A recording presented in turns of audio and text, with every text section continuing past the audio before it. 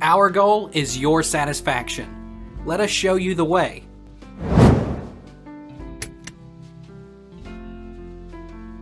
Can I use my phone as a DVD remote? Android TV Remote.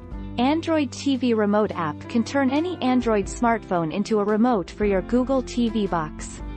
The app even allows users to perform a voice search. Smart IR Remote. The Smart IR Remote app works with over 800,000 devices ranging from TVs, Blu-ray players to DSLR cameras. What do you do if you lose your DVD remote? If you can't find an exact remote control for your model, you can purchase a universal remote control. A universal remote control can work with DVD players of various brands, like Sony, LG, Samsung, and so on. What's more, it can also work with TV, Blu-ray player, cable box and other entertainment equipment. How do I turn my phone into a remote for my DVD player?